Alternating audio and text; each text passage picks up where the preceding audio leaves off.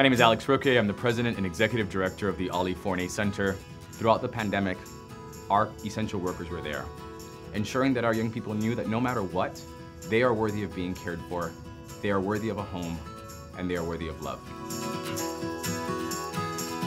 My name is Gregory Catania. Over the past year, I've been uh, working at the Respiratory Screening Center, testing patients uh, for if they were COVID positive, vaccinating. Today's a new day, I gotta tell you. Can't wait to celebrate June 3rd. Love rocks. My name is Shirlene Bernard. Last year was very challenging. However, I'm very excited and very optimistic about the future. My name is Natalie and my job at God's Love is kitchen prep. The community really kept me going so much during the pandemic. My name is Heidi Scheinman. When COVID hit, I knew I still wanted to volunteer, so I really haven't missed a day. My name is Milo Allen. I'm a van assistant.